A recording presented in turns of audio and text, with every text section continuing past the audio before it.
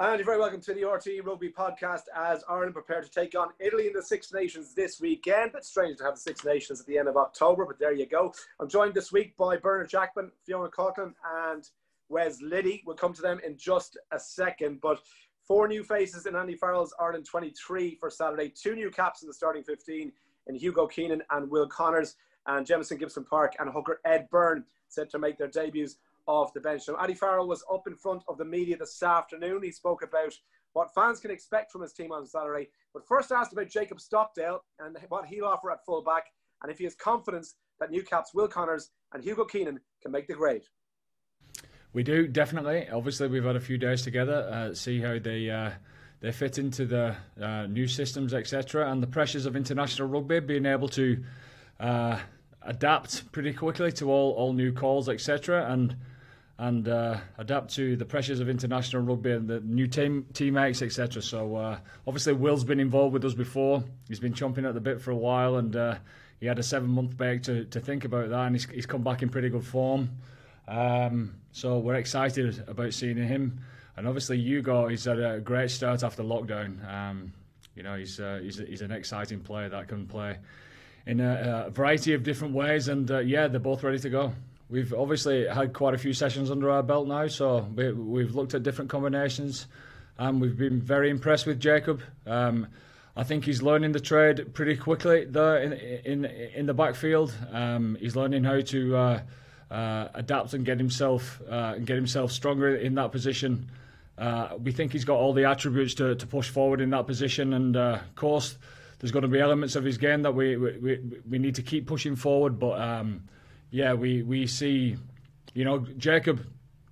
What you what you don't see on on the wing from time to time is his skill level. You know, he's he's uh, he's got a great vision. He's able to see things, and uh, he's got good hands as well. He hits a brilliant line, and not always do you get to do that from from from the wing. So hopefully we can get him involved as as much as we possibly can, and also he's uh, obviously a, a great option there with a left boot at the back. Well, I hope that you see an energy in defence that is, uh, is, is pretty ruthless. Uh, I hope you see a, a, a, dynamism in our contact skills that that gets the ball back. I hope you see a set piece that is um, that, that is one that's aggressive, that's going after them as well. And on the back of that, we, we hope to get uh, um, some opportunities to play on the back of that and be clinical on the back of it. That's that's what we're hoping for. But obviously, the Italians will have something to say about that. Um, uh, knowing knowing uh, Franco and, and the way that he wants to play. I've heard that they've had quite a quite a few camps, uh, so the preparation would have been uh, pretty pretty good for them. They've nothing to lose. I like the style of rugby that they, that they want to play. They're throwing the ball around, so they're going to be dangerous on Saturday. So they'll have a shout in how we how we play as well. So that was Andy Farrell there. And uh, Bernard Jackman, I guess your, your initial thoughts on the starting 15. There's some new faces there. It's a new look team, some positional switches as well. Overall, are you, are you happy that we have a, an Ireland team that you're excited to see this weekend? Yeah, I think I think it's great for Will Connors. Obviously, uh, he has been in great form at the start of the season, and I know Andy Farrell had, you know, he, he mentioned having him uh, very close to the squad squad last year, so he's going to get his first cap, and it's a it's a great opportunity for him. Keenan, fairness, is, is impressed.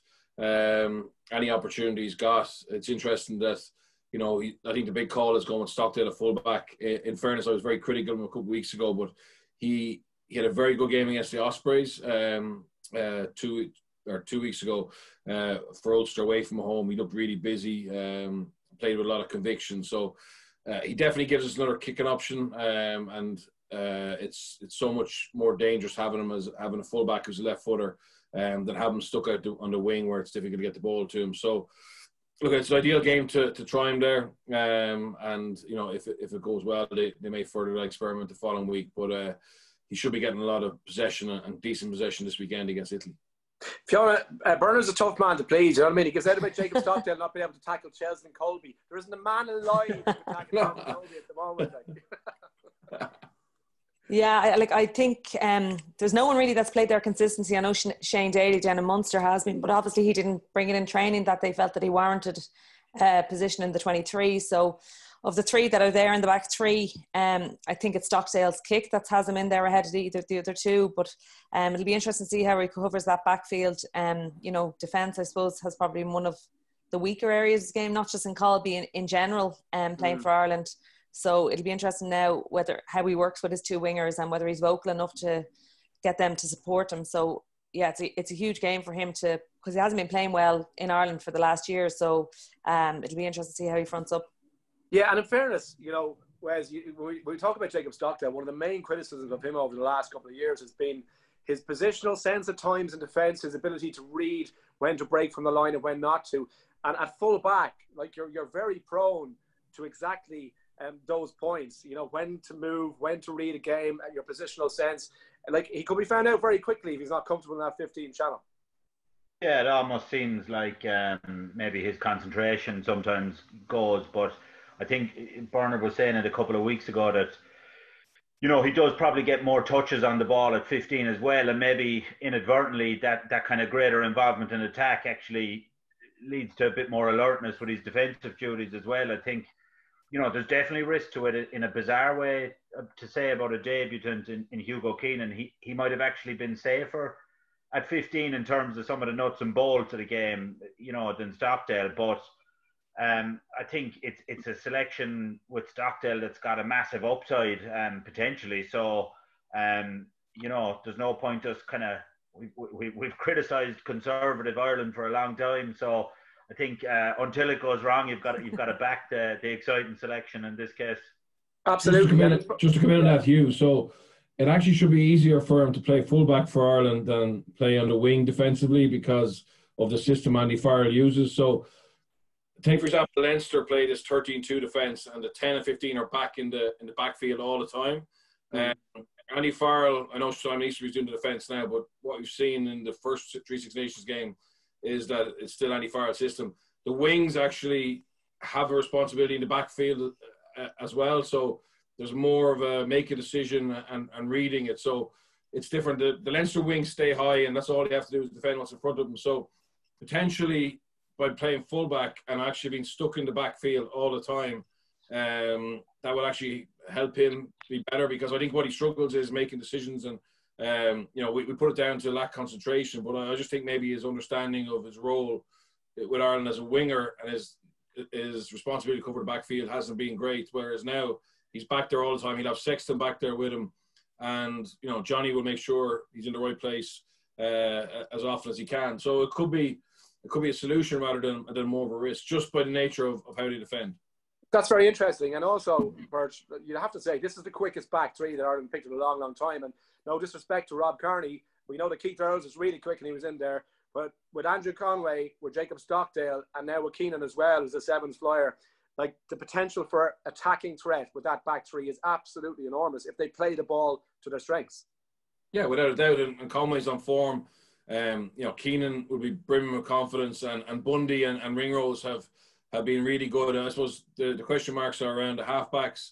Um, obviously, Johnny's had a you know he's looked decent in the games he's played, but just with a hamstring injury that he went off against the or after ten minutes against the Dragons, maybe he might be just a, a little bit match shy. But you know, if Murray and Sexton can get up to the level um, that they're capable of, that backline looks looks really exciting.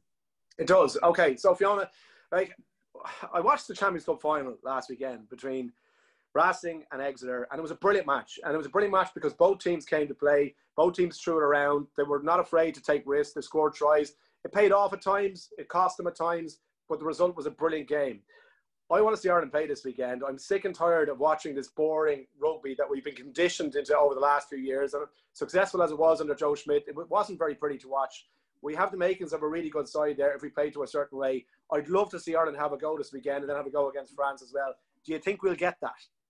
Well, I think it depends on a couple of things. I think it depends one on the weather, two on whether the pack front up and give that fast ball to those backs. Um, you know, there's a lot of talk about them playing heads up rugby. Well, I'm sure they were doing that anyway, but it's the manner in which they do it and the speed of the ball that they get to allow them to do it. Um, and likewise with the counter, I always felt that they were very conservative on their counter attack. With those back three, hopefully it will be a little bit more exciting. Um, if the weather conditions allow to it. And the game will be loose just because it is Italy.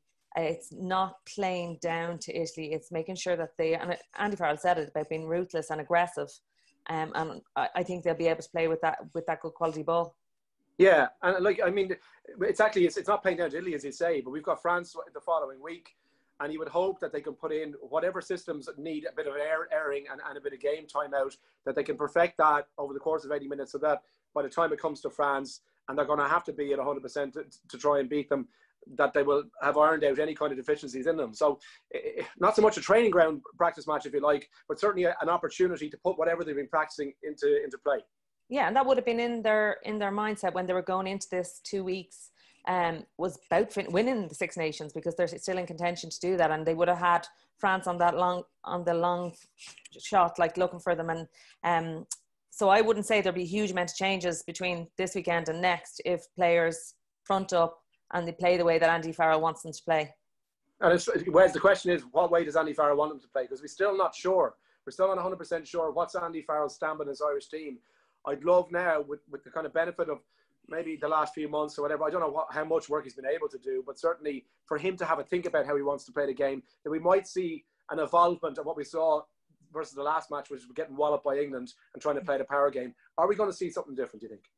I think, in fairness, we did see bits in the opening Six Nations games where there was an attempt to go wider at times, and I think it was it was highlighted. But I mean, I, I do have a bit of a a bit of a bee in my bonnet with these ex-league guys. Sometimes uh, they kind of get billed as the gurus very handily, and uh, I suppose all Andy Farrell's work to date has been you know, largely on the defensive side of the ball. And in fairness, Ireland's defence was, was possibly the weakest area of their game for long long times during that. So, like, I don't want to be negative about it, but I mean, I do think the jury's very much out here. Um, and I do think if you'd have put that 23 up as what we'll travel to Paris with six months ago, you wouldn't have given us a prayer in a lot of ways. So, um, you know, I, I, I, I'd be very hesitant about uh, you know being too optimistic about uh, about our prospect for two wins in this next uh, in in the Six Nations games before we get into this uh, Nations Cup or whatever it's called. You know, I think um,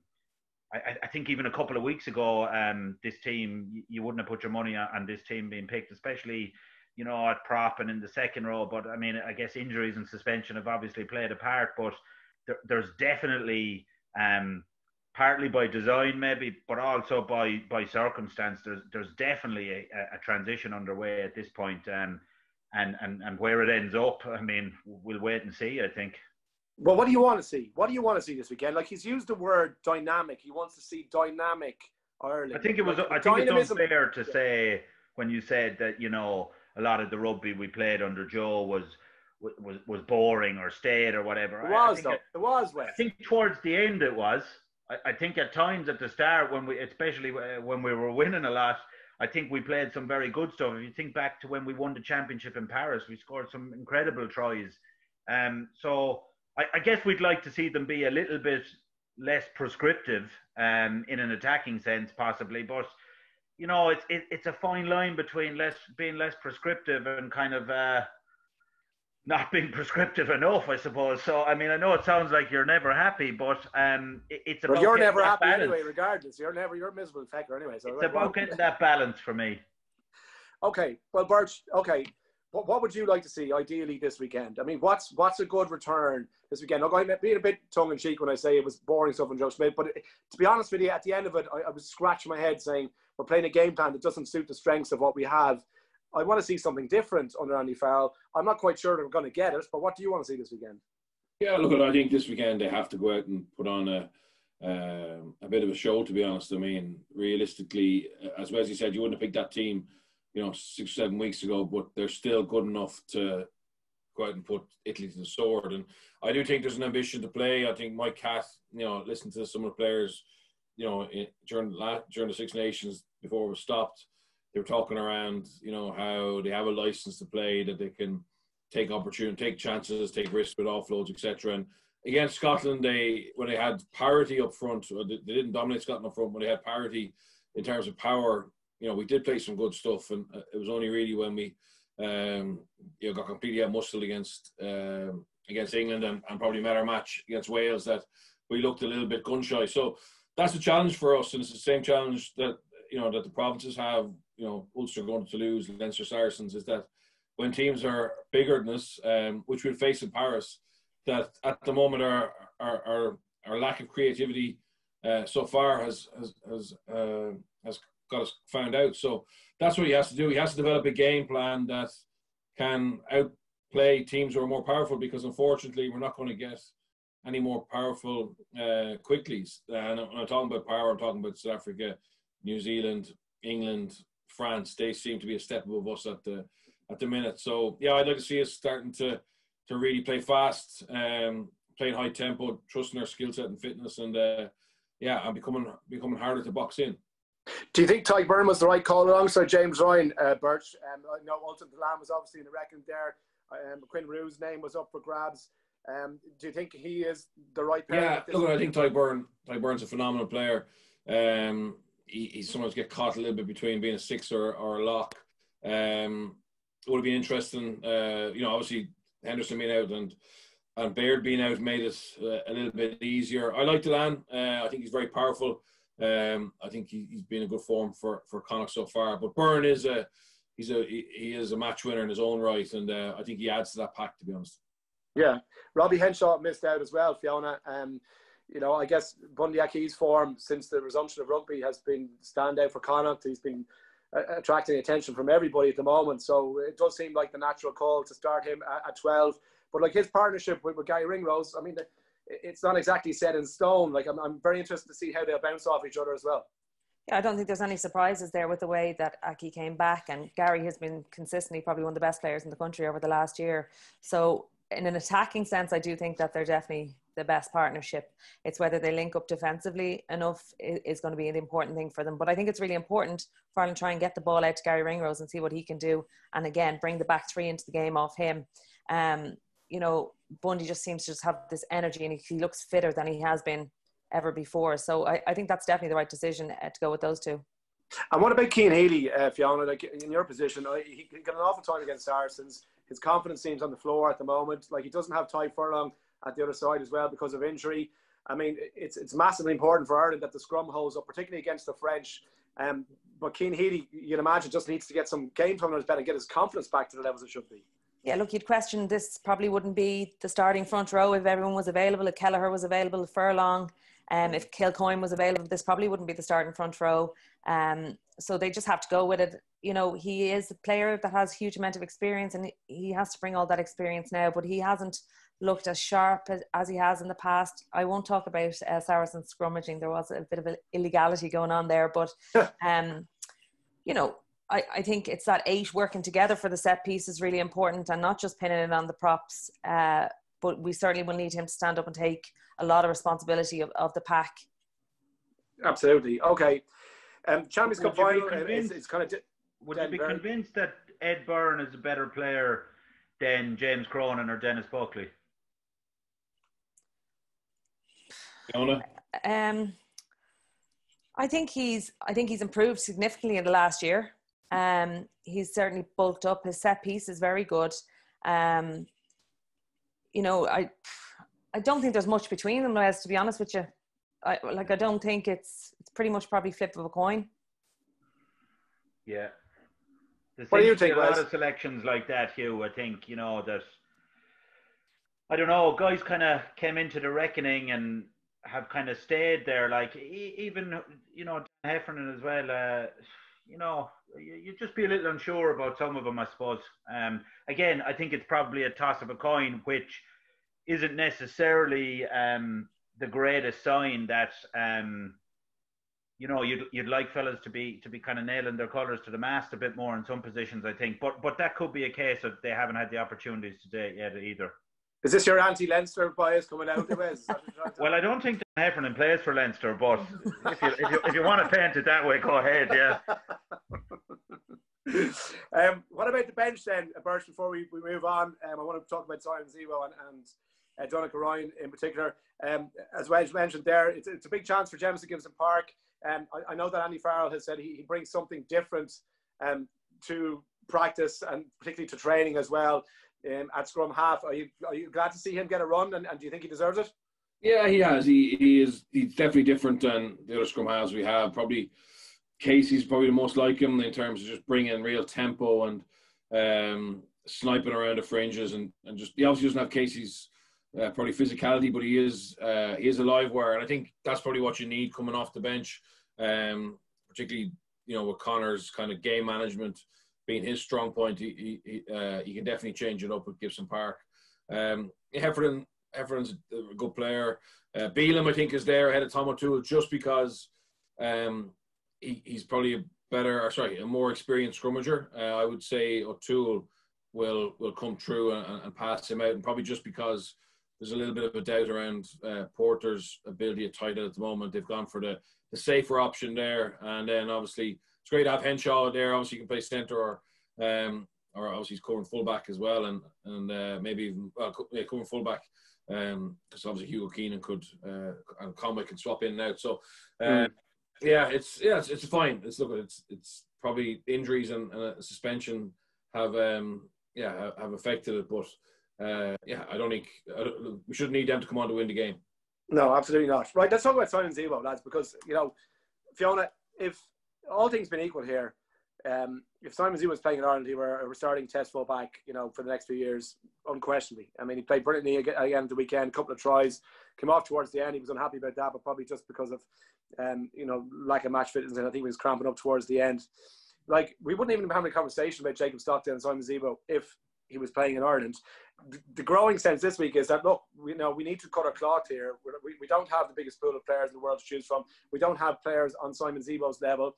Should the RFU at least amend the rules or bend the rules to include someone of his talents. We did it for, for Johnny Sexton. We've done it for a couple of players before. Why not for someone like Simon Zebo? Where do you stand on this? No, I don't think they should. Um, I do think it opens up the floodgates um, to players going abroad, and then the provinces are weaker, and it just dilutes the whole system in Ireland. Um, look, there's no doubt about it. Zebo's gone over there and he's played incredibly well, but is that in the systems that they're playing? His linking up with Finn Russell has been hugely exciting. But would that happen if he's playing in Ireland the way that Ireland play rugby? And it's so risky as well. We saw at the weekend how risky it was with Finn Russell playing the way he was. Um, but I think Ireland need to stay, stay firm on this. Um, they have a good player welfare system. Yes, they probably need to be a bit, bit more battle hardened, but I don't think allowing players go abroad and then be selected for Ireland will, will benefit Ireland in the long run. But it hasn't worked necessarily. I mean, like when we come to the World Cup, you know, in the last three, four World Cup cycles, we've been found wanting. I mean, are we being a bit too obtuse in our view here about players going abroad? And again, you know, can they not tailor the rules as such to not let the floodgates open, but certainly when a player of Simon Zebo's quality um, is is clearly a, benefit to the squad, can they not just adjust the rules to make it so that he could come back in? Is is but is one player going to make the difference in this squad squad winning a World Cup? Do you know what I mean? Or one or two. It's it's the whole dynamics of the whole squad. I don't think Simon Zebo coming in is going to actually win the Six Nations for them or, or beat France on his own. Mm. Birch, what's your view on this? As someone who obviously uh, I'm I'm starting to flip on this actually, and it's not just because of Simon, but it's actually increasing our player depth. So, um, and particularly for someone like Simon or or Donnacha Ryan or, or, or Sean O'Brien, who have, you know, been great servants to the province and, and to Ireland um, if they go abroad and they can, you know, keep their form, I think it's I think it's brilliant. I, I think it adds so effectively. It adds an extra player to our to our depth chart who's playing on a weekly basis. So if we four provinces, and some of those positions are taken up by players who aren't Irish qualified, I know not many, um, and you can add an extra layer uh, or two in each position. Um, so for example, tied prop, you know, um, Furlong's injured. Mm. Would it be if we had another two tied props playing one in the Viva Premier or the Gallagher Premiership and one in the top 14. And, and I don't think there will be a, a, floodgate because the reality is the Irish players are paid better than than abroad. And also with the crunch that's going to come financially now, um, you know, the big the French clubs are, aren't going to come looking for our stars. And our stars won't leave because if you look at it, Donnacha Ryan only left because the RFU wouldn't give him the two year contract, which in fairness he's gone and proven that he probably deserved. Zebo left because he was being kicked off a national contract. So if a guy is leaving for a reason that he's, you know, he has to take a, a 50 or 60% pay cut to stay. Um, and he goes abroad and he, and he proves himself. Um, I think that there should be a little bit of leeway. So I, you know, if a guy turns down an international contract then maybe it's a little bit different. But if there's no international contract for him, I'd say fair play to him and and let him go and, and play. And I think, look, it's a tax break to play here. You know, the international match fees you get to play here are, are, are very healthy. Um, you know, if you play for your province, you have a chance of winning things. There's loads of really positive reasons to stay. So I, I don't see there being a floodgate. You know, Irish players in general are slow to travel. You know, um, and if you look at the last World Cup campaign as well, Birch, we brought we brought an injured Joey Carbery to Japan. We had, yeah. uh, you know, with Jack Carty coming in, who literally like wouldn't have been next or near the panel, only that the shortage was there and Carbery was, was such a suspect. We had a 59 year old hooker who was also captain. Like our squad depth and, and strength and depth is not actually what it is being held up to be. And you know, in situations where it's a toss up between, well, do you want to go and have success at international level, or do you do you want to hold steadfast to a rule that actually is probably past its sell by date, um, and probably was you know had uses 10, 15 years ago when you were trying to stop players on exodus, mass exodus, leaving the country. It's probably not for fit for person, purpose anymore.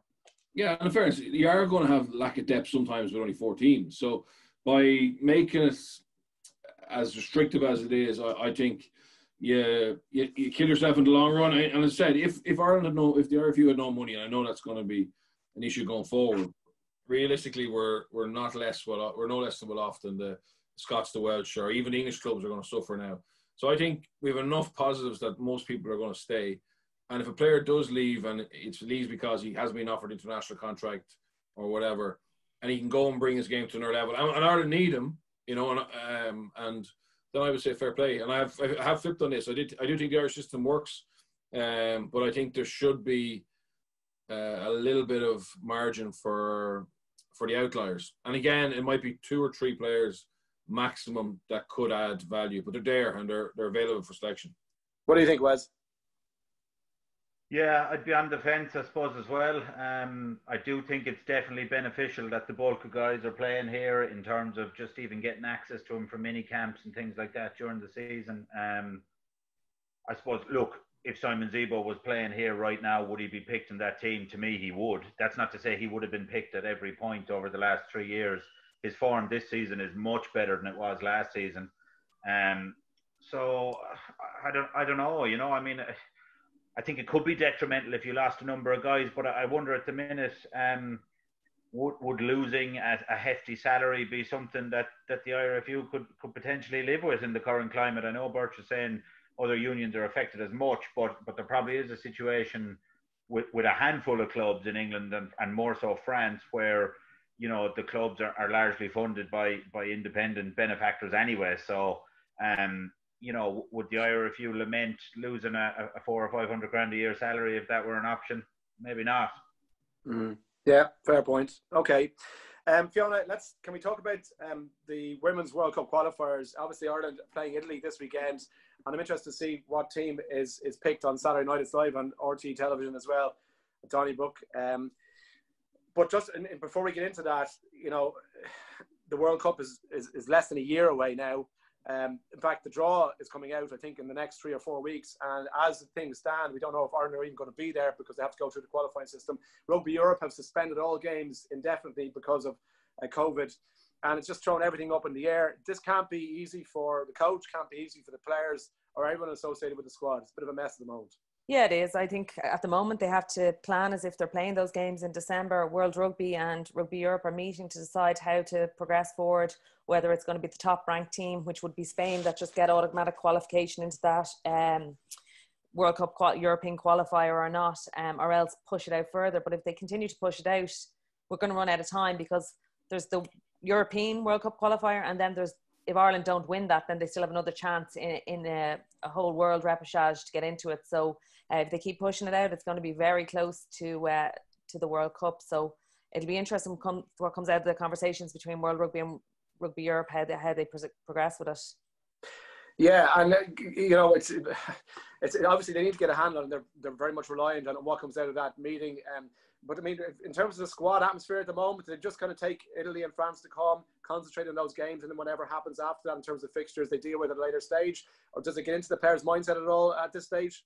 No, I think currently they're going to be thinking that they're playing those games in December because the dates are set. So they'll be very much focused on the next two games in the Six Nations. Obviously, when they were set to be played originally, it was to do with ranking for the World Cup qualifier, but now that has gone out the window and it, they're all going to play every team, so that doesn't make a difference. Um, but they're going to want to start nailing down what, who their team are, particularly at out half. Over the last mm. three years, they've had six different out halves, and um, whether one of those players is now going to step up and take this mantle forward going into the World Cup, I don't know. But there's just, I think that's going to be a key position for them, and they just haven't seemed to be able to cement anyone into it. Is Clare still the number one ten as far as you're concerned? I mean, when they name the team this weekend, I guess they'll we'll find out. I, I genuinely don't know. There's been so much mixing and matching between it. Yeah. I, I, no one has really put their hand up and cemented the place. Um, so I, I do think that's a position that's up for, for grabs, but who who gets it, I don't know. And overall, you know, just in terms of their progression, I mean, I remember we went to see them play um, in England last year, and like they acquitted themselves very well given the power and strength that England have. And it does seem to be a huge improvement in the space of 12 uh, months from the previous Six Nations, and they seem to be on the right track. Uh, and we don't know how that's going to uh, manifest itself this weekend, or whether they would have lost a lot of ground because of the, the, the break international rugby. Would be a terrible shame if they went backwards, uh, given the progress that they made in the Six Nations earlier this year. Yeah, and the Italy game was always going to be the key game. Um, you know, I think they're both very evenly matched teams. Italy are now welcome back their fullback Furlan, who's, who's a game changer for them. Um, but likewise, Ireland are welcome back Claire Molloy, who is probably the only world class player that they do have. Uh, so she's a huge boost to the squad as well. So it'll be interesting how they come out of lockdown. Okay, all right. Um, so we're almost out of time. Um, gents, can I just ask you your prediction this weekend, Birch? Um, Ireland to account for Italy fairly comfortably, would you say? Yeah, I'd say Ireland by 20. Wes? Yeah, should should do. I think fifteen points. Okay, and Fiona. Yeah, bo- bonus point win. So whatever way that works. All right, there we go. Happy for Jacob Stockdale full back. Okay, my thanks to uh, Birch, to uh, Wes, and to Fiona. Live coverage of uh, RTÉ on RTÉ television of the Ireland women's game against Italy this weekend, and on radio as well with Michael Corcoran Ireland against Italy uh, from the Aviva Stadium. Uh, thanks for listening. We'll talk to you next week.